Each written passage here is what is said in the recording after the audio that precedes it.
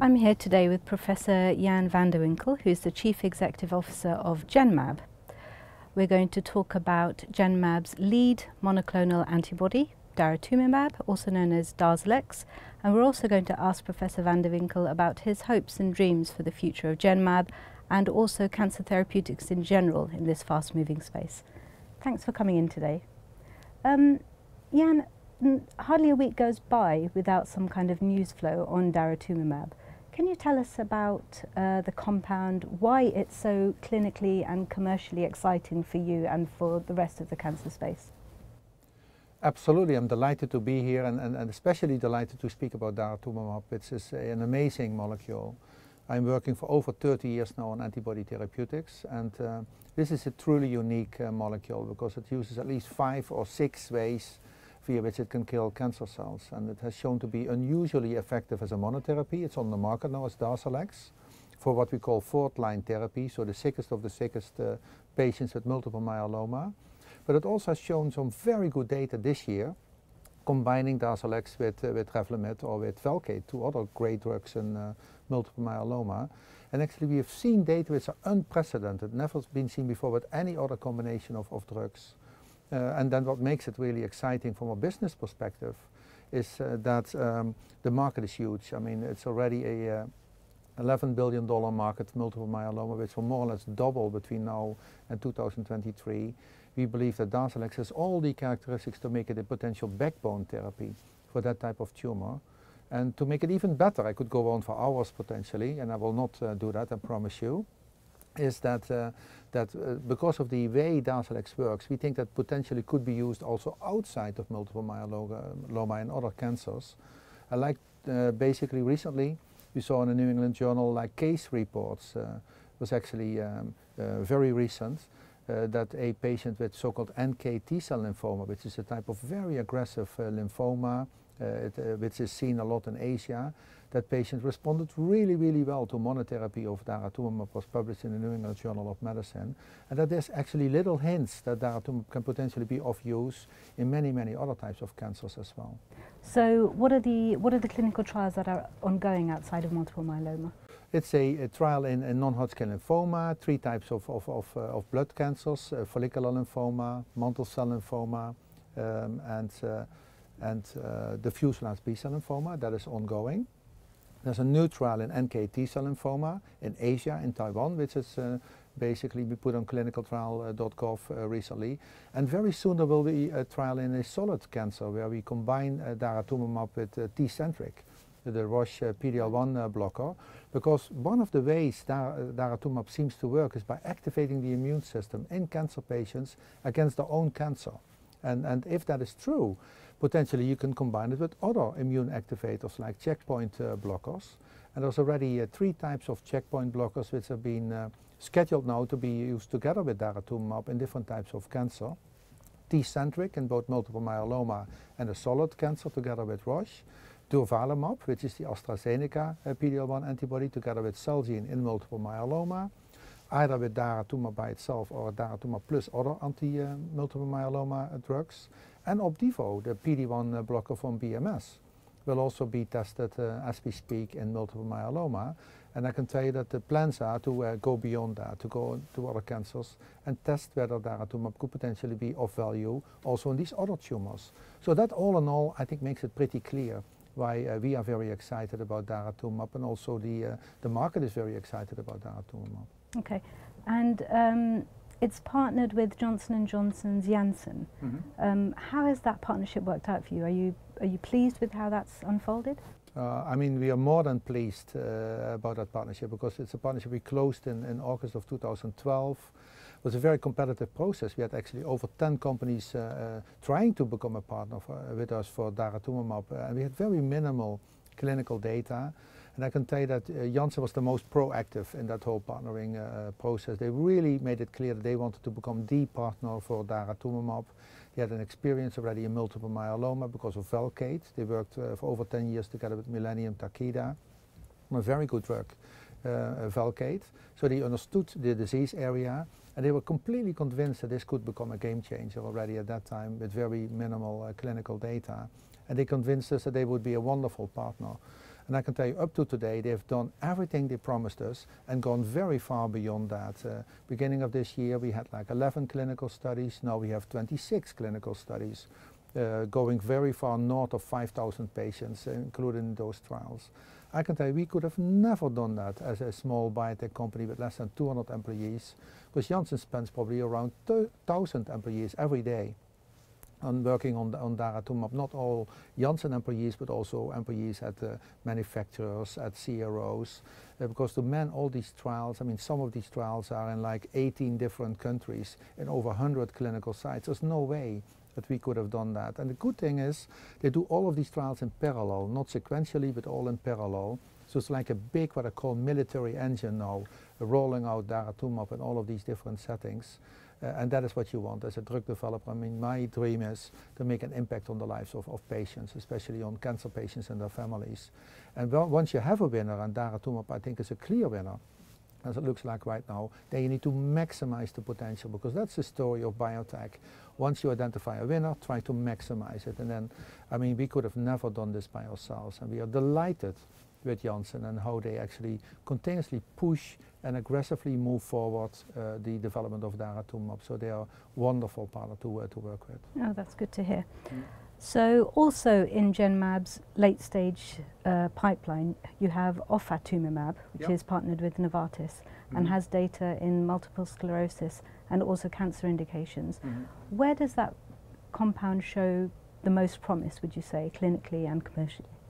Ofatumumab is a fantastic antibody. I can tell you it has uh, disappointed in cancer. I mean, we originally partnered it with GSK, which is a company not very focused on maximizing the potential of that drug. And, and actually what, uh, what, didn't happen is that they didn't do combination studies with, uh, with drugs like ibrutinib, Venclexta and other new molecules, which really make a lot of impact now in the CLL area. The good thing is that Novartis is a cancer-focused company, so they now moved over, to, moved over to Novartis last year. They're nicely broadening the label. This year we got a maintenance label in the United States. We got a, a relapse uh, label in CLL. Uh, but I think uh, ofatumumab will always uh, remain a very small drug in the cancer area because we basically didn't do the, uh, uh, the, the, massive, expensive clinical development which was needed to, to competitively position a drug like that. The good thing is that they are now moving, Novartis is now moving into very large studies in relapsing MS, where we had sensational data already in 2013 in a phase 2 setting with a sub-Q formulation of ofatumumab. Essentially very, very small doses of the drug could completely stop the progression of, of, of the disease in relapsing remitting MS. And that is a massive market, potentially over $20 billion market. And what really keeps me on my feet is that Novartis recently put ofatumumab, the sub-Q formulation, for autoimmune diseases on a list of 11 potential blockbuster innovative medicines uh, uh, developed by Novartis. So that really is, is very exciting. They have now started uh, one of two very large MS uh, phase 3 uh, studies. The second one will start very soon. And then the good thing is that they said, well, that they would uh, want to have the data early 2019, potentially get it on the market in 2020. As a sub-Q formulation, I think the drug has massive potential in, in, in autoimmune diseases like uh, relapsing uh, remitting MS and, and, secondary progressive MS. We have a double-digit royalty, so that could become a very strong income driver for the company going forward, but we have to wait a few years. Right, right. Mm. Okay, so Genmab in general, you've been with the company for a long time. You mm. were the chief scientific officer beforehand. Yeah. Tell me about the journey that the company has been on, the highlights, some of the challenges. Mm -hmm. What stands out for you? I mean, the clear highlight is, of course, um, the, the, the, the, the, first time that we saw real clinical efficacy with, with daratumumab, which we saw very early on already in mid-2011. Uh, I still remember that we began to see at the lowest doses where you could potentially expect uh, the patients to get enough drug, to expect a clinical effect uh, from. We saw in every cohort, we saw three out of three patients responding. That was incredibly rewarding. And of course, the uh, key milestone for me was, of course, November last year, when we got the very quick, rapid approval of, of daratumumab as Darzalex in the, in the United States. Um, another highlight is in May 2013 where we got our first breakthrough therapy designation for daratumumab. We now in the meantime got a second one this July for the for this uh, for the setting where we combine daratumumab with Revlimid or with Velcade. I mean, some of the challenging uh, times uh, for, for the company was, of course, the very difficult period between 2008 and 2010, where we had, I was head of R&D at that, uh, that point, where we had to take the decision to dramatically restructure the company. We had to let go 70% of our employees, which is still one of the most painful and most difficult uh, periods I ever experienced in my uh, life. I hope to never see that again.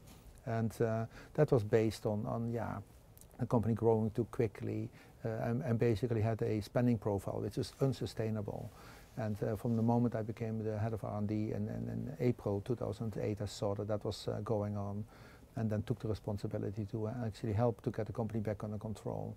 Um, and I think other highlights, of course, are uh, this year we have some of our new bispecific molecules with an entirely new technology platform. The dual DuoBody technology, which I'm very, very proud of, which we actually developed in, in the company um, under my leadership as at that time the CSO. Uh, and then the first three molecules are now in the clinic, uh, again with Janssen as a, as a partner. Next year we hope to uh, br bring into the clinic the first uh, bispecific antibody with the dual DuoBody technology, which we own 100% ourselves. Also next year we uh, hope to bring the first HexaBody-based uh, molecule into the clinic, uh, HexaBody DR5, DR5. It's sensational preclinical data. So I think there's more, more uh, highlights than lowlights uh, in, in, the company's history. But of course, as any company, of course, we also had our uh, challenging times. And that actually is quite normal. I mean, even when you look at uh, big success stories like Genentech, uh, Centocor, Immunex, all wonderful uh, companies in the end, they all had one or two near-death experiences. And we certainly had one or two at Genmab in the past. Yes. Everybody that speaks to you can see that you're clearly a scientist at heart. Mm -hmm. When did you when did you realize that you were going to be a chief executive of a biotech company? I can tell you that, uh, that I'm still a scientist at heart. One of the things uh, Genmab is, is a fantastic innovation powerhouse. I think it's based on very, very good science. I mean, the two new technology platforms are based on papers we published in the top uh, three uh, scientific journals, Science, which uh, not all companies can say. But I realized, I think from uh, probably from the uh, mid of 2008-9 on, I was also pretty good in seeing the business angles uh, for the company and I was being asked uh, a number of times by our board of directors whether I wouldn't want to be uh, stepping up to the CEO position. And I basically said no because I, was, I felt I had a perfect job. Uh, it was an area I could really oversee as head of, R uh, oversee as head of uh, R&D. But then in mid-2010 when I was asked that uh, for another time, I thought that was the appropriate time to really try to change the strategy of the company and actually reprogram it. I mean, this was uh, after what we now call the financial crisis in 2008. The markets were not any longer open to biotech companies like Genmab because we had the habit of going back to the stock market uh, time after time until that uh, time. And I basically changed the business model, very heavily focusing on partnerships to generate income, which could then help the company to actually hold on to their own drug later on. And we actually now have 17 partners. We have seven pharma and 10 biotech partnerships. It's a fantastic model. And the company since 2013 is now profitable. It's not yet sustainably profitable, but we're very rapidly moving towards becoming sustainably profitable based on royalty income. So it's a sensational story, and I, I think I'm actually much better in what I do now than what I did as a uh, as head of, of uh, first preclinical uh, development and research, and then all of the R&D. I think I'm much better at my place right now. But sometimes you have to discover that in life. Uh, I certainly never had a formal business uh, uh, training, uh, but I think I'm pretty good in, in, seeing through systems and setting up strategies uh, for a company like Genmab. So I feel actually at my optimal strength right now. And where do you see Genmab in five years, in ten years, in this, mm -hmm. in the bigger cancer therapeutics picture? Mm -hmm. Where would you like to see Genmab in the next few years? And our vision is that we actually by 2025 have our own product, which we own 50% or more in, uh, in product ownership, uh, having uh, to transform a, type of cancer in a fundamentally different way to make that cancer to turn that into a chronic condition you can live with at a very good quality of life. I really want to have developed that product and then bring it to the market ourselves. And then at the same time have a whole pipeline of what we call knock your socks off antibodies, which are really what I essentially want to say leapfrog drugs, which are not incrementally better, but substantially better than what is, uh, what is the gold standard in certain types of cancers. And I think we can do that. I think we have over 20 programs active now uh, by ourselves or with partners. And we are going to, uh, we have the engine now in place to put one of these molecules into the clinic every year for the coming, uh, coming years. And after 2019, this will accelerate into multiple molecules. We have a, a, stable and increasing cash uh, stream by Darzalex and hopefully ofatumumab from 2020, which will allow me to hold on to a product ownership for 50% or more. And the way I explain this is when we, are going for a, a market which is like a half a billion to a billion dollar market in like 2025 uh, or so, we can probably do the marketing ourselves, uh, do the commercial um, activities yourself because in the future cancer patients will know really really well which cancer drug is going to help them and cancer doctors will know this even better at that time. So you don't need this massive system which was used in the past with hundreds of sales uh, uh, reps and, and, and uh, medical liaisons to really push these, uh, these, uh, these drugs. It's more or less of uh, the logistics and the monitoring systems to really bring them, make them available to patients and to the, the centers where these patients are being treated. I think we can do this in a very innovative way. We are innovators and I think we can also innovate the commercial side of, of, of, cancer drugs in the future. But the basis that you, is that you have a leapfrog drug which is substantially better than anything for that uh, specific type of cancer. And I'm confident that we can get there with the company. Great. Jan, thanks so much for coming in. It's been fantastic speaking to you and very best wishes for Genmab and its future. Thank you very much. It was uh, wonderful to be here and I hope to speak with you again very soon. Thank you.